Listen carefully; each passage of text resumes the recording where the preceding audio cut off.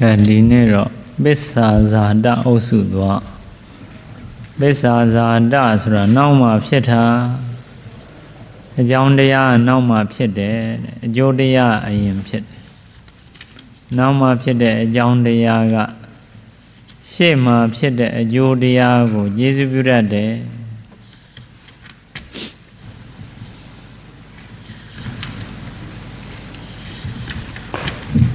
အဲ့တော့လူတွေထင်တာနဲ့တော့အဲတခြားစီပေါ့ပုံမှန်ဆိုရင်တော့ပုံမှန်နဲ့တော့တစ်မျိုးတစ်မျိုးတစ်ဖုံပေါ့ပုံမှန်ကအကြောင်းတရားဆိုတာအရင်ဖြစ်ရအကျိုးတရားဆိုတာနောက်မှဖြစ်ရအခုအလို့မဟုတ်ဘူးအကြောင်းတရားနောက်မှဖြစ်တယ်အကျိုးတရားအရင်ဖြစ်တယ်ဘယ်လိုထောက်ပံ့တယ်လဲဘယ်လိုကျေးဇူးပြုတယ်လဲ အဲ့တော့ကျေးဇူးပြုတယ်ဆိုတာ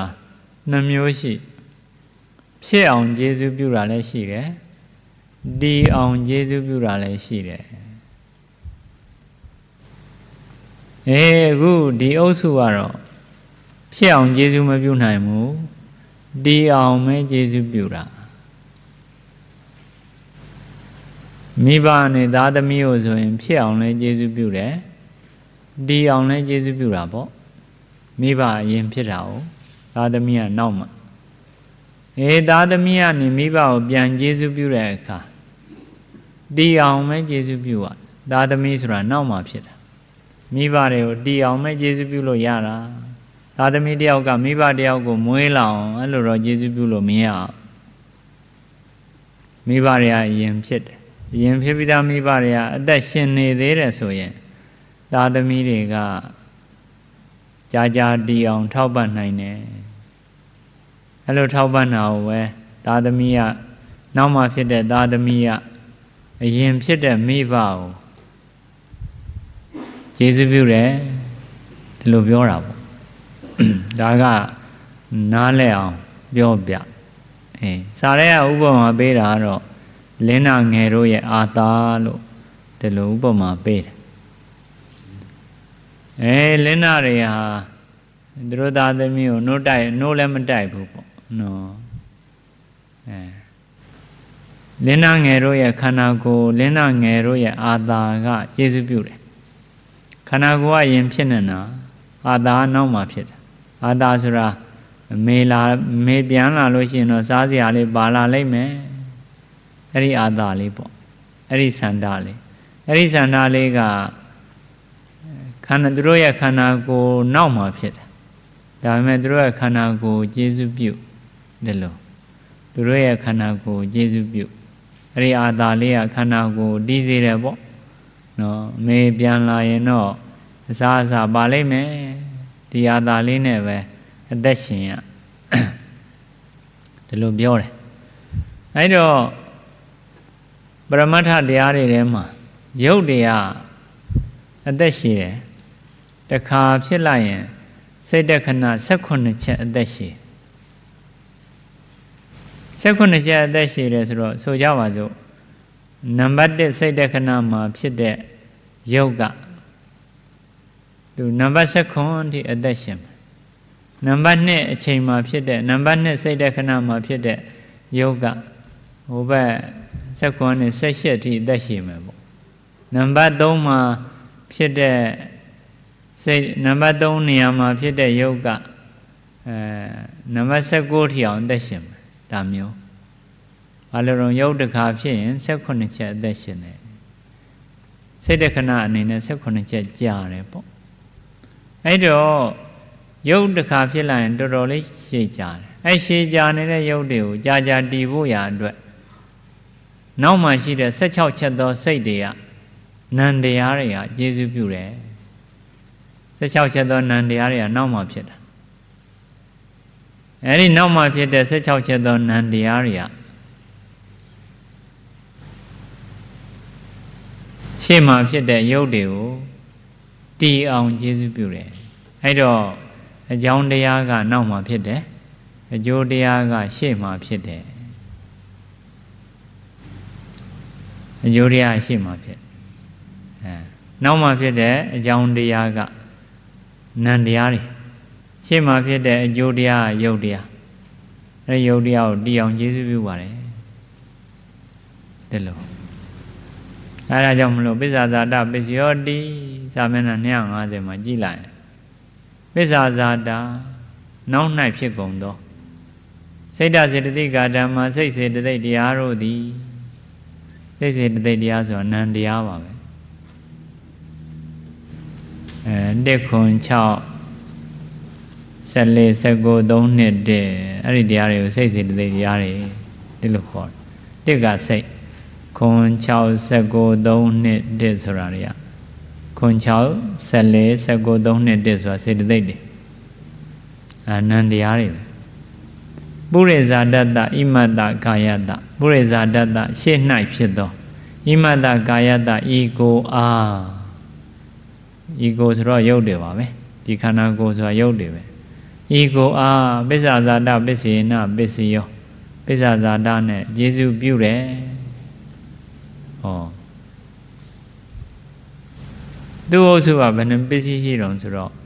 ပစ္ဆာဇာတရယ်ဝိပယုတ်တရယ်အဋ္ဌိရယ်အာဝိကတရယ်သူ့အုပ်စုက၄ပစ္စည်းပစ္ဆာဇာတဝိပယုတ်တ အဋ္ဌိအာဝိကတ၄ပစ္စည်းရှိအဋ္ဌိရောအဝိကတရောတော့အုပ်စုအများကြီးတဲ့ဝင်အဲသူလည်းရှိပြီးတော့ယေရှုပြုတာပဲလေအောက်ကစိတ်တခဏနဲ့16ချက်စီးထားစိတ်တယ်အဲအထနာရုပ်တစ်ချက်ဖြစ်လိုက်တယ်ရုပ်တစ်ချက်က16ချက်အသက်ရှိတယ်အဲတော့16ချက်သောစိတ်စိတ်တွေကစိတ်တခဏတွေကအဲ့ဒီရုပ်ကိုယေရှုပြုအဲလို အဲ့တော့ယုံနဲ့နာမ်ဖြစ်နေတော့နာနာနဲ့ယုတ်ကိုကျေစုပြုတာနာနဲ့ယုတ်လို့လည်းပြောလို့ရတယ်နာနဲ့ယုတ်ဖြစ်နေတော့အဲ့ဒါဝိပယုတ်တာမရှင်ဘူးလေမရှင်သောအဖြစ်ကျေစုပြုရရှိပြီးတော့လည်းကျေစုပြုတယ်အဋ္ဌိပစ္စည်းနဲ့အဲ့ဒီစိတ်တွေကရှိပြီးတော့ကျေစုပြုနော်ပစ္စည်းကလည်းရှိပြီးတော့ကျေစုပြု ဟောအနန္တရတော့လို့သေပြီးမှကျေစုပြုတာမဟုတ်ဘူးပျောက်ပြီးမှကျေစုပြုတာမဟုတ်ဘူးအဝိကတမကင်းမှုရွယ်လဲကျေစုပြုတယ်ဒါကြောင့်မလို့ပိစ္ဆာဇာတအုပ်စုက၄ပစ္စည်းပိစ္ဆာဇာတဝိပယုတ်တာအဋ္ဌိအဝိကတအဲ့ဒါဆိုတော့ပြီးသွားရောနော်ပိစ္ဆာဇာတာနောက်နိုင်ဖြစ်ကုန်သောစိတ်ဓာစေတသိကာဓမ္မစိတ်စေတသိက်တရားတို့သည်တဏိပိနံတရားတို့သည် ပုရိဇာတတရှေ့၌ဖြစ်သောဣမတ္တကာယတဤကိုအားပိစ္ဆာဇာတပစ္စေနပစ္စည်းရောပိစ္ဆာဇာတနဲ့ယေရှုပြုတယ်အဲ့ဒါတပွားလုံးသွားမှာပဲအဲယုတ်တရားလဲစိတ်တခဏတိုင်းစိတ်တခဏတိုင်းမှာဖြစ်တာဒီယုတ်က1ကနေ7ခွန်ဆိုနောက်တစ်ယုတ်က2ကနေ78နောက်တစ်ယုတ်က3ကနေ19ဒီလိုလာမှာပေါ့ဘလိုပဲဖြစ်ဖြစ် 16ချက်သက်ရှိတယ်ပထမဆုံးတစ်ချက်တုန်းကတော့အတူဖြစ်ကြတာစိတ်နဲ့ယုံနဲ့အတူဖြစ်ကြအဲနောက်ပိုင်း16ချက်ကြတော့ယုတ်ကမသေးသေးဘူးစိတ်တွေကသေးပြီးသွားလို့16ချက်တော့ပြောင်းအဲတော့16ချက်တော့စိတ်တွေကကျေစုပြုတာကိုပြောတယ်ခဲလောက်ဆိုနားလဲလိမ့်မယ်ထင်တယ်ပိဿာဇာတအုပ်စုပြီးသွားတယ်ငပိဿာဇာတအုပ်စုပြီးရင်နောက်တော့အုပ်စုသွားကြဆိုပုရိဇာတအုပ်စု ပုရိဇာတကတော့နှမျိုးရှိပါတယ်ဝဋ္ထုပုရိဇာတမိယာဝတ္ထုဒီဟုသောပုရိဇာတလည်းရှိအာရမဏပုရိဇာတအာယုံဒီဟုသောပုရိဇာတလည်းရှိနှမျိုးရှိအဲ့တော့သူ့ပါဠိလေးကြည့်ရတာဝတ္ထုပုရိဇာတစတယ်ပဲပြောကြစို့ဝတ္ထုဆိုတာမိယာဖြစ်တဲ့ရုပ်တွေကိုပြောတာ စိတ်တည်းရဲ့မိယာဖြစ်တဲ့ရုပ်တွေကိုဝတ္ထုလို့ခေါ်တယ်အဲ့ဒါဘယ်ရုပ်တွေတုံးဆိုမျက်စိအကြည့်အဲ့ဒါမြင်စိတ်ရဲ့မိယာသူလဲဝတ္ထုသကုဝတ္ထုလို့ခေါ်ပါတယ်သောတာအကြည့်သောတာဝတ္ထုအဲ့ဒါကြားစိတ်ရဲ့မိယာဉာဏ်နဲ့ဟာရနမူနာတူသွားလိုက်ကာနဝတ္ထုဇိန်ဝါဝတ္ထုကာယဝတ္ထုကာယဝတ္ထုကတော့ဒီကိုယ်လုံးမှာရှိကာယပတာဒ နောက်တစ်ခါဟရိယဝတ္ထုဟာရယဝတ္ထုဆိုတော့နှလုံးအိမ်ရဲ့အတွင်းတလက်ဖက်ရဲ့ထက်ဝက်တလက်ဆွမ်းမျှလောက်တော့သွေးကိုမှီတီးပြီးတော့နေတယ်လို့ဒီလိုပြောတယ်နှလုံးအိမ်ထဲမှာရှိတယ်ပေါ့အာရယဝတ္ထုကအဲ့တော့ကာယဝတ္ထုပဲနေရာအကျယ်ကြီးမှာရှိရတဲ့ဟာကတော့သူ့နေရာလေးသူပဲရှိအဲအဲ့ဒါဝတ္ထုယုတ်6မျိုးလို့ခေါ်ပါတယ်ဘာလို့ဝတ္ထုလို့ခေါ်လဲ စိတ်နံတရားတို့ရဲ့မိယာဖြစ်လို့ကဲကြည့်အောင်စက္ခာယရဏအဲစက္ခာယရဏဆိုတာစက္ခုပတာရကိုပြောတာစက္ခုဝတ္ထုကိုပြောတာအဲ့ဒါအကြောင်းတရားစက္ခုဝိညာဏဓာတုယတန်တမြောရိကနိစ္စဓမ္မနံအဲ့ဒါအကျိုးတရားစက္ခုဝိညာဏဓာတ်လို့ခေါ်တယ်စက္ခုဝိညာဉ်စိတ်နဲ့စေတသိက်တွေပေါ့ ဘုရောဝိထိချရဲ့မင်းသားတော်ဝဇံစက္ခုဝိညာဉ်အဲ့ဒီအလေးကိုပြောတာစက္ခုဝိညာဉ်မှာရှစ်လုံးရှိတယ်စိတ်ကိုတော့စက္ခုဝိညာဏဓာတုယစေတသိက်တွေကိုတော့တန်တမြောရိကနိစ္စဓမ္မနံအဲ့တော့စက္ခယရဏလေးရအကြောင်းတရားသဝိညာဏတန်တမြောရကနိစ္စဓမ္မနံအကျိုးတရားအဲ့တော့သက္ကုဝိညာဉ်လေးကသက္ခယရဏလို့ခေါ်တဲ့သက္ကုပဒါရလေးကိုမှီတယ် မှီတယ်မှီတော့သက္ကုသက္ကုပဒါရလေးကသက္ခယရဏလေးကသက္ကုဝိညာဉ်ရဲ့တရားမှီရာဖြစ်နေကျေစုပြုတယ်အဲဒီနာရီလေးဟာဇပွဲပေါ်မှာမှီးနေတယ်လို့ပေါ့ဇပွဲမရှိရင်နာရီလေးလည်းမရှိနိုင်ဘူးအဲဇပွဲကနာရီလေးကိုကျေစုပြုသလိုပဲကျေစုပြုဟောအဲ့လိုကျေစုပြုတဲ့အခါမှာ စက္ခယရဏစက္ခုဝိညာဉ်မတိုင်မီကြိုဖြစ်တာစေတခဏဘလောက်လောက်ကြိုလဲဆိုရင်ဝီထိအပြည့်စုံချရင်အတိတဘဝင်တစ်ချက်ဘဝင်ကဆလနတစ်ချက်ဘဝင်ကုပိစေဒတစ်ချက်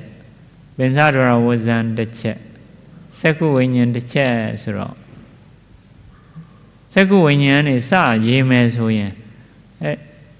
၅ချက်လောက်ကကြိုဖြစ်နေတယ်စက္ခယရဏလေးက စေတခဏ၅ချက်လောက်ကကြိုဖြစ်တယ်ကြိုဖြစ်ပေမဲ့ तू ကရုပ်ဆိုတော့မသေးသေးဘူးလေစက္ခုချက်အသက်ရှိမသေးသေးတော့စက္ခုဝိညာဉ်စိတ်ကလေးဉာဏ်စိတ်ကလေးကမှီလို့ရအဲ့လိုကြိုဖြစ်ပြီးတော့မှစက္ခုဝိညာဉ်စိတ်ရဲ့မှီယာတရားဖြစ်နေကျေစုပြုလို့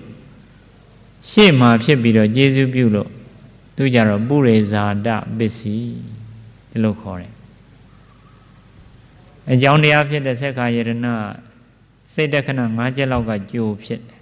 အကျိုးတရားဖြစ်တဲ့စက္ခုဝိညာဉ်ကစိတ်တခဏ၅ချက်လောက်နောက်ကြပြီးမှဖြစ်တယ်အဲ့တော့အကြောင်းကရှေးအကျိုးကနောက်ဒါကြောင့်မလို့သူ့ကိုပုရိဇာတပုရိဇာတအဲ့ဒီပါဠိလေးကနေတရားထဲမှာလည်းပါတယ်အဲ့တော့ မိယာတရားဖြစ်နေလေကျေစုပြုတယ်လေဒီမျက်စိလေးမရှိရင်မြင်စိတ်ဆိုတာမဖြစ်နိုင်ဘူး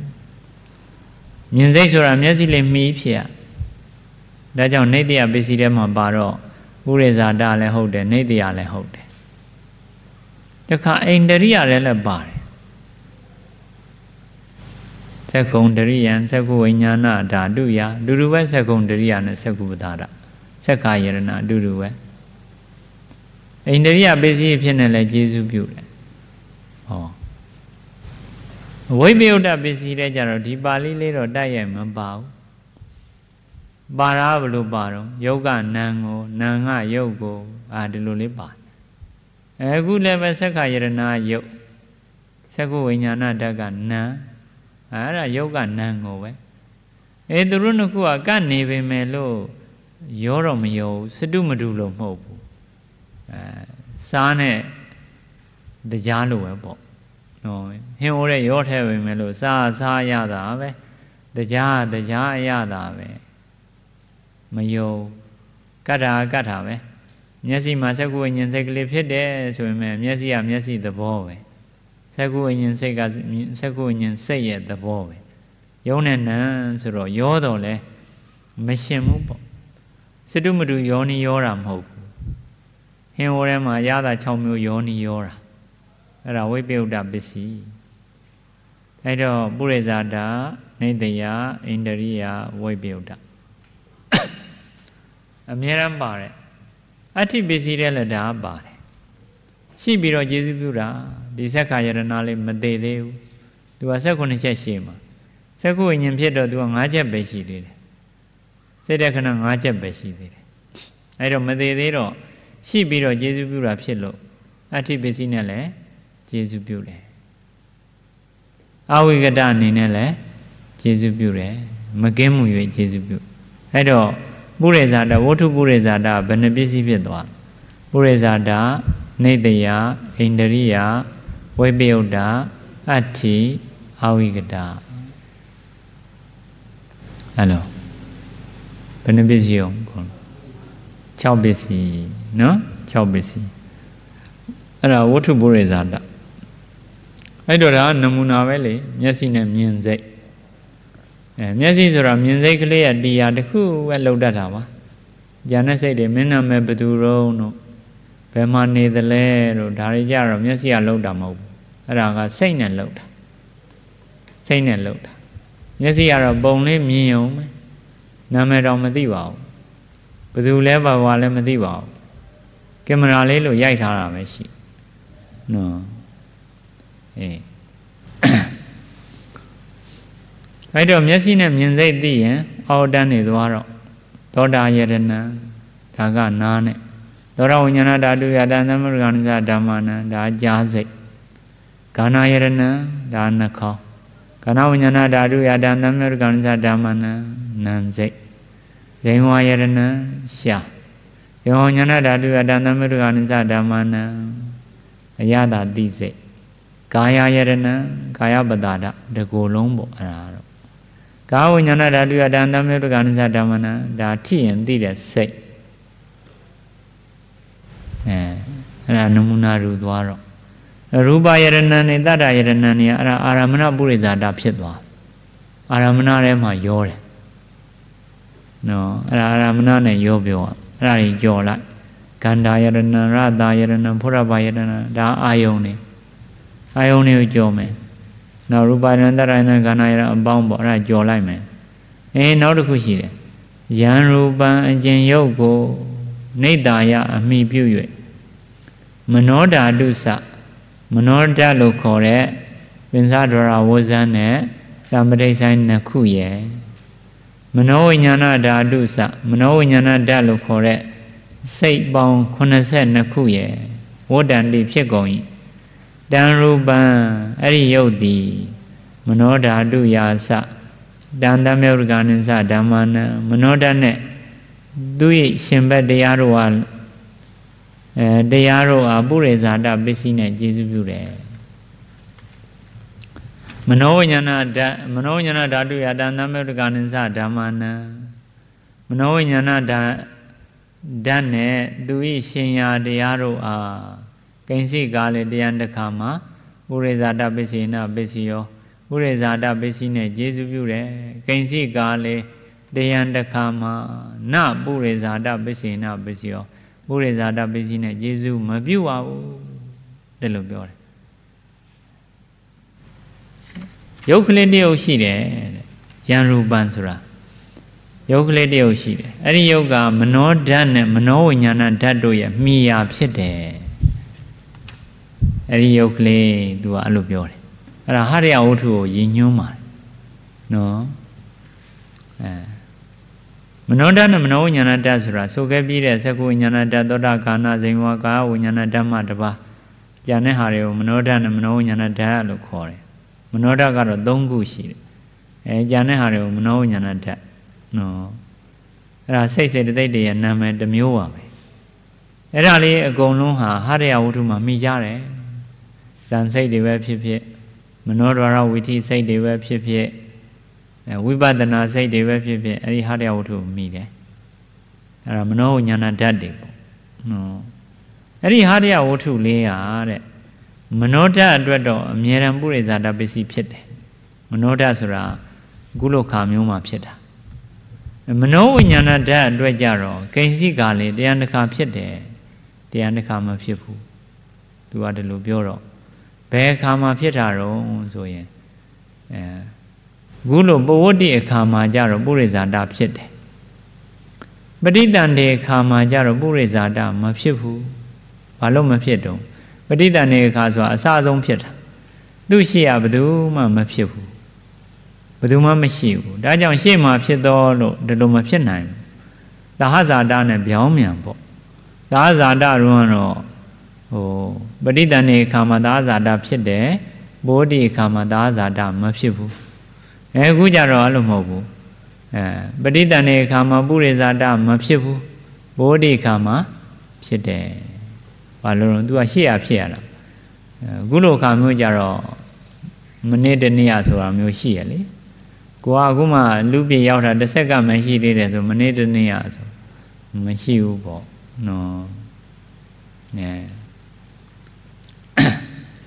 ကလေးလေးတယောက်ဟိုတော့ငါလို့သချင်းဆိုတယ်လို့နော်ဘာသချင်းဆိုမှာလဲဆိုဟိုတော့ငါလို့အေးဟိုတော့ငါလို့ဆိုတော့ဆိုမှာပေါ့သူကဟိုကနားထောင်နေလို့နောက် နော်သူကမှငယ်ငယ်လေးပဲရှိတယ်ဟိုတော့ငါလို့ဆိုတော့အဲအဲ့လိုပေါ့ကုလပရိသန်နေဆိုတော့အာသူကမှခုမှစဖြစ်တာရှိသေးတယ်နော်အရင်တုန်းကရှေ့ရဖြစ်တာဆိုတာမရှိဘူးနော်အဲကလေးလေးတယောက်သူသချင်းဆိုမှာဘာသချင်းဆိုမှာတော့ဆိုတော့ဟိုတုန်းကလို့ဆိုတော့နားထောင်တဲ့လူတွေကနောက်ဟေးဟိုတုန်းကဆိုဘယ်တော့အောင်နော်ခုမှသူ့အသက်က5 6နှစ်ပဲရှိသေးတယ်ဟုတ်တယ်မလား အသက်20အဆက်ရှိတဲ့လူကဟိုတုန်းကအကြောင်းတွေပြောမယ်ဆိုရင်ပြောလို့ရခုလည်းတလုံးပေါ့ပုရိဇာတဖြစ်ဖို့ဆိုတာသူ့ဆေသူ့ရှေ့ရစိတ်တွေရှိဖို့လိုတယ်ပဋိသန္ဓေခါမှာဆိုရင်တော့သူ့ရှေ့ရစိတ်တွေမရှိဘူးလေမရှိတော့ပုရိဇာတမဖြစ်ဘူးအဲ့လိုမှမဟုတ်လို့ရှင်အဲ့အဂိန်စိကာလေးကမမမိနော်အဲအဲ့တော့ပုရိဇာတဖြစ်တယ်ဆိုတာပိုးတိခါ ပုရိဇာတမဖြစ်ဘူးဆိုတာနပုရိဇာတဆိုတာမဖြစ်ဘူးလို့ပြောတယ်အဲ့ဒါကပဋိသန္ဓေခါအဲ့တော့ဒီဟရယဝတ္ထုလေးအကြောင်းပြောရရင်တော့ဟရယဝတ္ထုလေးကပဋိသန္ဓေခါမှာဆိုရင် तू ကစိတ်နဲ့အတူတူကဖြစ်တယ်စိတ်ကအတူတူကဖြစ်တဲ့ဟရယဝတ္ထုကိုပဲမိတယ်ဒါကတစ်မျိုးပဋိသန္ဓေခါမှာရှိတဲ့ဟရယဝတ္ထုအဲနောက်ဟရယဝတ္ထုတစ်မျိုးကတော့ အခုလိုအခါမျိုးမှာဖြစ်တဲ့ဟရယဝတ္ထုအခုလိုအခါမျိုးကြတော့ဦးဇင်းတို့စိတ်တွေကဆိုကြပါစို့ဇောခုနှစ်ကြိမ်ဒုတိယဇောကပထမဇောနဲ့အတူဖြစ်တဲ့ဟရယဝတ္ထုကိုမိတယ်တဲ့တတိယဇောကဒုတိယဇောနဲ့အတူဖြစ်တဲ့ဟရယဝတ္ထုကိုမိတယ်ဟောသူကတခုရှေ့ကြတော့နော်တခုရှေ့ကြအများကြီးတော့ရှေ့ကြတာမဟုတ်ပါဘူး ဟရယဝတ္ထုကယုတ်အဲဒီမနောတမနောဝိညာဏတဆိုတဲ့တရားတွေကပစ္စယုပ္ပန်တရားတွေကနာမယ်ရုပ်ကလေးကနည်းနည်းလေးပဲရှေ့ကြစိတ်တခဏတစ်ချက်လောက်ရှေ့ကြပြီးတော့ယေရှုပြုဒုတိယဇောသည်ပထမဇောနဲ့အတူဖြစ်တဲ့ဟာရယဝတ္ထုကိုမိတယ်တတိယဇောသည်ဒုတိယဇောနဲ့အတူဖြစ်တဲ့ဟာရယဝတ္ထုကိုမိတယ်အဲ့လိုနီးနဲ့တစ်သက်လုံးသွားမယ်ပေါ့နော်ဟာရယဝတ္ထုလေးက စိတ်တခဏတစ်ကြိမ်လောက်ပိုစောဖြစ်ပြီးတော့နန္တရားတွေကိုကျေစုပြုအများကြီးစောတာတော့မဟုတ်ဘူးနည်းနည်းပဲစောစောအများကြီးပဲစောစောအကြောင်းတရားကရှေ့ကအကျိုးတရားကနောက်ကဒါကြောင့်ပုရိဇာတပုရိဇာတအဲ့ဒါကအခုလိုအချိန်မျိုးမှာဖြစ်တဲ့ဟာရယဝတ္ထုအဲ့တော့နှမျိုးဖြစ်သွားပြီ ပဋိသန္ဓေခါမှာဖြစ်တဲ့ဟာရယဝတ္ထုကတပြိုင်တည်းဖြစ်ပြီးကျေစုပြုတယ်သဟဇာတအခုလိုအခါမျိုးမှာဖြစ်တဲ့ဟာရယဝတ္ထုကရှေ့စိတ်တခဏတစ်ချက်လောက်ကြိုဖြစ်ပြီးတော့နောက်စိတ်ကိုကျေစုပြုတယ်ကဲနောက်တစ်ခုဟာရယဝတ္ထုဒေဂာနိကာလဒေဂာနိကာလကြတော့ဒေတော့မယ်ဆိုလို့ရှိရင်သုတ္တရနဲ့ပြန်ရေ1 2 3 4 5 6နဲ့ဒေရစိတ်ကနေပြန်ရေ 16ချက်လောက်ဆိုရင်ဟာရယဝတ္ထုအစ်စ်မဖြစ်တော့ဘာလို့လဲနော်16ချက်ဆိုသူသေရတော့မယ်အဲ့လိုအသက်တေတံလျှောက်ဖြစ်နေသေလို့ရမှာမဟုတ်တော့နော်အဲသေလို့ရမှာမဟုတ်တော့16ချက်လောက်ကကြိုပြီးတော့အဲအသက်မဖြစ်တော့နဲ့ဖြစ်ပြီးသားဟာလေးကတော့ရှိသေးတယ်အဲ့တော့ဒေဂာနိကာလကြတော့စိတ်တခဏ16ချက်လောက်ဟာ အဲ16ချက်မြောက်မှာဖြစ်တဲ့ဟာရယဝတ္ထုကိုမှီပြီးတော့ဖြစ်ရအဲ့တော့သူကတော့နည်းနည်းလေးပိုပိုစောတာပေါ့တစ်ချက်စောလည်းရှိတယ်နှစ်ချက်သုံးချက်စောတာလည်းရှိတယ်50ချက်စောတာလည်းရှိတယ်ပေါ့နော်ဒါမျိုး16ချက်လောက်ပိုစောတာလည်းရှိဟောအဲ့ဒါကဒေဂာနိကာလမှာဖြစ်တဲ့ဟရိယဝတ္ထုဒေဂာနိကာလမှာဖြစ်တဲ့ဟရိယဝတ္ထုနဲ့ စိတ်တည်းရဲ့မှီပုံပေါ့အဲ့တော့ဒေဂာနိကာလမှာ16ချက်သောစိတ်တို့က18ချက်နဲ့ပြန်ရည်တာနောက်ပြန်ရည်တဲ့နည်းတေတဲ့စိတ်ကနေပြန်ရည်ရင်18ချက်မြောက်သောစိတ်နဲ့အတူဖြစ်တဲ့အတူဥပတ်တဲ့ဟာရယဝတ္ထုကိုမိတယ်ဘလို့ပဲပြောပြောသူလဲအကြောင်းတရားရှေ့မှာဖြစ်တယ်အကျိုးတရားက နောက်မှာဖြစ်တယ်သူလဲပုရိဇာတပဲပုရိဇာတအေးနောက်တစ်ခုဟာရယဝတ္ထုအကြောင်းပြောရင်အခုက၃မျိုးဖြစ်သွားတယ်ပဋိသန္ဓေခါရဲ့ဘောဓိခါရဲ့ဒေဂာနိခါရဲ့နောက်ဟာရယဝတ္ထုတစ်ခုရှိသေးတယ်သူကတော့និရောဓတမာဘဝင်စားတဲ့ပုံကိုယ်တွေပေါ့အာဝင်စားတဲ့ပုံကိုယ်တွေကြတော့စိတ်စိတ်တသိက်တွေအကုန်လုံးချုပ်သွားပြီစိတ်တွေကမဖြစ်တော့ ဟာရယဝတ္ထုလေးကတော့ဖြစ်နေမှာပဲသူ့ရဲ့နှုံတိုင်းပဲဖြစ်နေမယ်ဒါပေမဲ့စိတ်တခဏတွေနဲ့တော့ရေလို့မရတော့စိတ်တွေကရပ်နေတာ哦အဲ့တော့និရောဓသမဘကထားတော့မယ်ဆိုတော့အနာဂံပုဂ္ဂိုလ်ဆိုရင်အနာဂါမိဖို့စိတ်ကလေးဖြစ်တယ်အရဟတယဟန္တာဆိုရင်အရဟတဖို့စိတ်ကလေးအဆုံးမှာဖြစ်တယ်အဲ့တော့အဲ့စိတ်ကလေးတွေဘယ်မိတယ်လဲ ဘယ်ဟာရယဝတ္ထုမိလဲအာရှေ့စိတ်နဲ့အတူဥပတဲ့ဟာရယဝတ္ထုလို့ပြောမရအောင်ရှေ့စိတ်နဲ့အတူဥပတဲ့ဟာရယဝတ္ထုကလွန်ခဲ့သော9ရက်လောက်ကရှေ့စိတ်ကဖြစ်တာဒီ9ရက်နောက်ပိုင်းစိတ်တွေကမဖြစ်တော့ရှင်းစိတ်နဲ့တူပတ်သောဟာရယဝတ္ထုဒီလိုပြောလို့မရအောင်သူကြဘလို့ပြောရတာရှေ့စိတ်တခဏတစ်ချက်ခန့်ကာလလောက်မှဖြစ်တဲ့ ရှေ့စိတ်တခဏတစ်ချက်ခန့်ကာလလောက်မှဖြစ်တဲ့ဟာရယဝတ္ထုကိုမိတယ်ရှေ့စိတ်တခဏမှဖြစ်တော့လို့ပြောမရဘူးရှေ့ကစိတ်တခဏမရှိဘူးမရှိပေမဲ့အဲ့လိုရှိလောက်တဲ့အချိန်လေးမှာဖြစ်တဲ့ဟာရယဝတ္ထုကိုမိတယ်ဒီလိုပြောပါတယ်အဲ့တော့ဟာရယဝတ္ထုအကြောင်းပြောရင်အဲ့လို၄မျိုးပေါ့ပဋိသန္ဓေခါရှိတယ်ရိုးရိုးပိုးတိခါရှိတယ်နိရောဓသမဘကထလာတာရှိတယ် နေ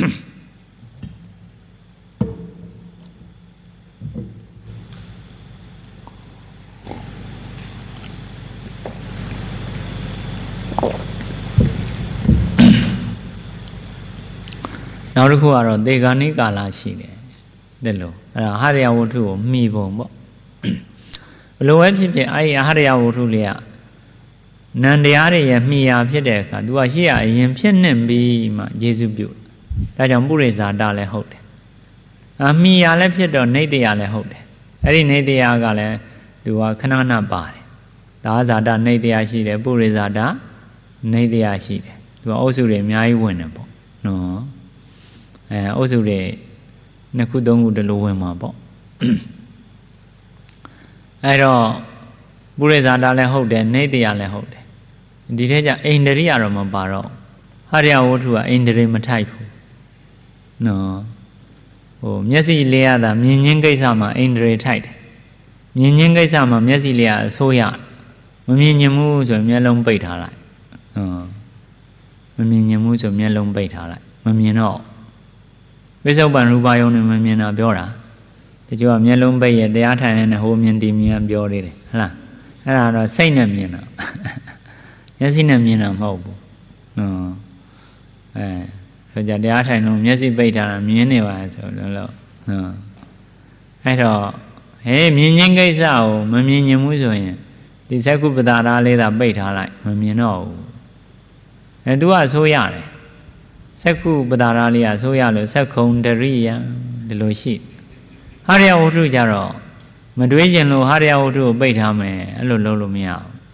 ပိတ်လို့မရဘူးနော်စိတ်ကိုတော့မတွေးကျင်လို့နေလို့မရဘူး မတွေးကျင်တာတော့မရဘူးဘယ်ဟာကိုတွေးမလဲဆိုတော့ရွေးလို့ရဟဟောဇံရတဲ့လူဆိုပရိပါကနမိတ်တဲ့နေရတခြားဟာမတွေးကြအဲ့ဒီလိုလှုပ်တာအတွေးတွေကိုရပ်ပစ်လို့တော့မရဘူးအမြင်တွေကိုရပ်ပစ်တာရတယ်မျက်စိပိတ်ထားလိုက်မမြင်တော့သက္ကုဒ္ဒရဝိသီတွေမဖြစ်တော့နားပိတ်ထားလိုက်သောတာဒွါရဝိသီတွေမဖြစ်တော့သူကအဆိုးရလို့ရဒီဟာရယဝတ္ထုကတော့မတွေးခြင်းလို့ဟာရယဝတ္ထုလည်းပိတ်ထားလိုက်မယ် နော်အဲ့ဒါတော့မရအဲ့တော့မျက်စိတကားရပိတ်လို့ရမယ်ဟလားနှလုံးသားတကားပိတ်လို့မရဘူးဒီလိုပြောခြင်းပြောမှာနော်ဟဲသူကတခုပဲတဲ့ထားလို့ရနော်နော်ဟိုကတော့တချို့ကရည်စရာပြောတယ်ရှင်ဟန်ဆိုင်ကတစည်းဆိုရင်ကျမရန်ကုန်မြို့တယ်နော်ရန်ကုန်မြို့ထဲမှာဆိုင်ကမစီးရလို့ကာတွန်းဆရာနောက်နော်ဆိုင်ကမစီးရလို့ဥပဒေထုတ်တော့ ကာတွန်းဘယ်လိုရေးလဲဆိုရှင်ဟန်ဆိုင်ကတစည်းဆိုလို့ရှိရင်ကျမနှလုံးသားရန်ကုန်မြို့တယ်နော်အဲ့လိုပြောတယ်အဲ့တော့အဲ့လိုပိတ်လို့မရဘူးပေါ့နော်အဲ့တော့စိတ်ကြတော့ဒီဟာမတွေးချင်ဘူးဆိုရင်ဟိုဟာကိုတစ်ခုခုကိုတွေးတာအဲ့တော့ကမ္မထာအထုတ်တဲ့လူတွေဆိုတာအဲ့လိုလုပ်စိတ်ကိုအာယုံတစ်ခုခုထဲမှာထည့်ထားနော် ထည့်ထားလို့ရှိရင်တဲ့မတွေးတော့အဲမတွေးတော့အဲ့တော့တရားထုတ်တဲ့လူတွေကရေပုံရနှစ်ခုလောက်တာအာယုံနေဒီအာယုံကိုယ့်အတွက်မကောင်းဘူးဆိုဟိုအာယုံပြောင်းလိုက်တယ်အဲကမ္မထာအာယုံတခုခုကိုပြောင်းလိုက်တာခန္ဓာကိုယ်နာတာမနာခြင်းဘူးဆိုရင်ဝင်လေထွက်လေလည်းထည့်ထားလိုက်တာအဲ့ဒါခန္ဓာကိုယ်နာတာ तू မသိတော့ဩဒါလို့ အဲဒါကတမျိုးအာယုံကိုရှောင်ရှောင်ပြီးတော့အားထုတ်တာဒါလည်းရှိတယ်နောက်တစ်ခုကမရှောင်နိုင်ဘူးအာယုံနဲ့စိတ်နဲ့ကတ်နေပြီဆိုရင်တော့အတွေးခေါ်ပြောင်းတာပေါ့နော်အတွေးခေါ်ပြောင်းဥပမာအစားစားတယ်ဆိုရင်အဲရတာနဲ့စိတ်ကမခွာနိုင်ဘူးဆိုရင်အဲ့ဒီရတာကိုပဲအဲအရသာပဲလှည့်ရှုရင်အရသာရှုတယ်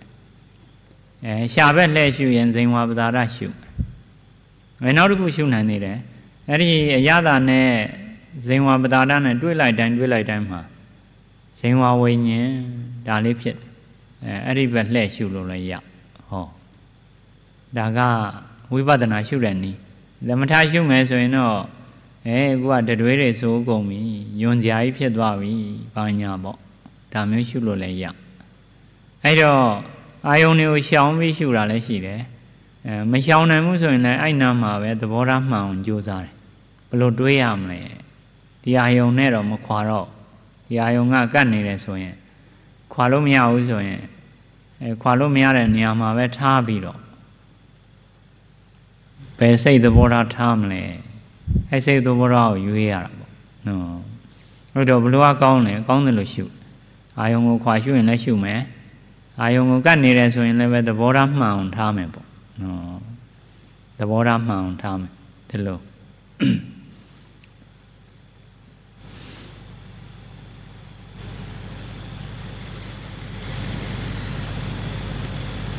အဲ့တော့ ဟာရယဝတ္ထုကတော့အိန္ဒြိယမပါဘူးအိန္ဒြေမထိုက်ဘူးခုနကဆက်ခါယရဏံသောတာယရဏံနေနဲ့မတူဘူးအဲ့တော့ဘာပဲရမလဲပုရိဇာတရဲ့နေတယရဲ့ဝိပယုတ်တအဲဟာရယဝတ္ထုပေါ်မှာစိတ်တွေဟာရယဝတ္ထုကပေါ်မှာစိတ်တွေမှီဖြစ်တယ်ဆိုရင်မဟာရယဝတ္ထုကရုပ်ပဲစိတ်တွေကစိတ်တွေနံတရားတွေပဲသူတို့နှစ်ခုကကတ်နေတယ်ဆိုပေမဲ့ယုတ်ကယုတ်သဘောပဲ နာကနံသဘောပဲမရှင်းပါဘူးယောဘုံယောနီးကအရသာ6ပါးယောသလိုယောတာတံပြောလို့ခေါ်တဲ့စတုမတုယောသလိုမယောဘူးဒါကြောင့်ဝိပယုတ်တလည်းရအဲဟာရယဝတ္ထုကတခါဖြစ်ပြီးစိတ်တက္ခဏ16ချက်ရှိတယ်အဲ့တော့ तू ကမသေးသေးပဲနဲ့ကျေစုပြုတယ်ရှိပြီးတော့ကျေစုပြုလို့အဋ္ဌိပစ္စည်းနဲ့လည်းကျေစုပြုမကင်းမှုရဲ့လည်းကျေစုပြုလို့အာဝိကတပစ္စည်းနဲ့လည်း ကျေစုပြုတယ်အဲ့တော့ဟာရယဝတ္ထုအတွက်တော့အိန္ဒြိယတစ်ခုယော့သွားတာအေးအဲ့ဒီသက္ခုသောတာဂာနဇိန်ဝါကာယဟာရယဝတ္ထုအဲ့ဒီဝတ္ထုယုတ်တွေကနန္တရားတွေကိုကျေစုပြုရင်အဲ့ဒါရှေ့အနေဖြစ်ဖြစ်ပြီးကျေစုပြုလို့သူတို့ဝတ္ထုပုရိဇာတာဒီလိုပြောတယ်မိရလည်းဖြစ်တယ်ရှေ့ရလည်းဖြစ်တယ်ဝတ္ထုပုရိဇာတာအေးနောက်တစ်ခုကတော့ အာယုံဖြစ်ပြီးတော့အာယုံလည်းဖြစ်တယ်ပုရိဇာတလည်းဖြစ်တယ်ကြတော့အာရမဏပုရိဇာတအဲအာရမဏပုရိဇာတဒါကတော့အာရမဏနဲ့ရောသွားအဲတော့အာရမဏပုရိဇာတနဲ့အာရမဏနဲ့အဲအဲ့ဒါကြံတယ်နောက်တစ်ခုကပကတုပနဲ့နာနခဏိကကမ္မကြံနေတယ်အုပ်စု၃စုလောက်ကြံနေတယ်အဲ့တော့တရားတော့ဒီနာတော်ထားမှာနော်မ နေ့ကညရင်တော့ညခီထွက်မယ်ဆိုတော့အဲအဲ့တော့ဟောပြမှာမဟုတ်တရားခဏနားအောင်မယ်နောက်နိုင်ငံညာခီကပြန်လာမှပြန်ဆက်ရတယ်နော်အဲ့တော့သင်မိသားစာတွေပဲအစာကြည့်အောင်လုပ်ကဲဒီနေ့တော့ဒီလောက်ပဲဆုတောင်းမြှဝေအောင်ဣဒံမေပုံညံနိဗ္ဗာနတပစ္စယော ဟောတုမမပုံညဘာကံသဗ္ဗတတ္တာနံဘာဇေမိတေတဗေမေတမံပုံညဘာကံလဗန္တုသာဓုသာဓုသာဓု